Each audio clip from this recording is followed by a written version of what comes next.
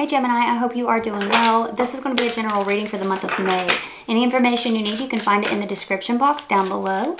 Uh, I do have personals open. Uh, they are starting at $20. There are three different options, so details are down there and available to you. Of course, only if you're interested, like I said.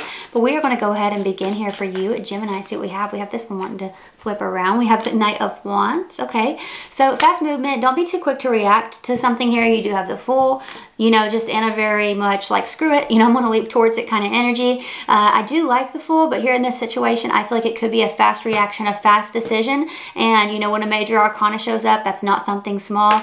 So I feel like it could, um, there could be major consequences for something here. So uh, let's see.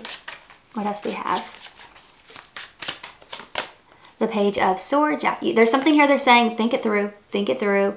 Uh, it might involve another air sign or a Sagittarius or water sign. Okay, we got, or children might be involved here in the mix somewhere. But the Page of Cups showing up, I do feel like there could be a, a conversation happening here. Something has been held back. Something's been kept for quite some time.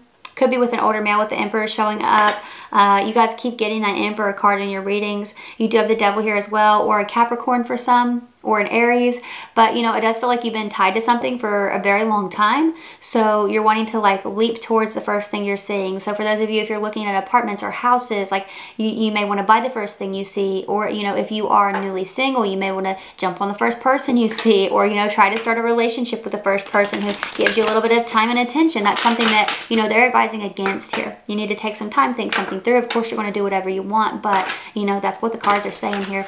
Don't be too reactive. Uh, don't be too quick to jump to something new or to jump to the first offer, whether it's love, whether it's a job, whether it's a living situation, nine of wands, take a look around. I do feel like there could be some red flags being presented to you. You need to take a closer look in a situation, okay? Uh, the devil showing up here. You need to take a closer look in a situation because a cycle could very well, uh, very much repeat for you, okay? There's something here that I feel uh, you're going to be seeing some red flags and it's, you know, very well possible is what I was trying to spit out for this to repeat. Five of Cups, okay, I felt like something failing here. Um, you know, Five of Cups can be grief, sorrow, loss.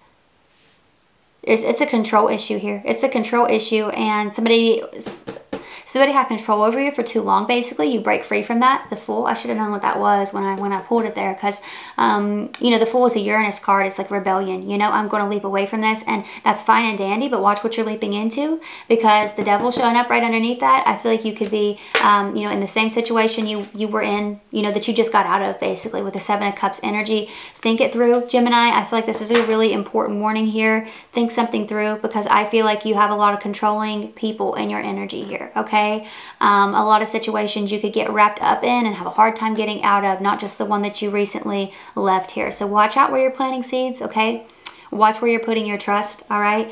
Um, yeah, and just don't don't put on your all your eggs in one basket is basically what I'm seeing here, Gemini. So I need to think things through in the month of May for sure and pay attention to the red flags. So uh, that's what I'm saying. There are details down below for anyone who might want a personal or if you want to check me out on Instagram or Patreon, those links are down there. But if this is where we part, thank, thank you for watching this far.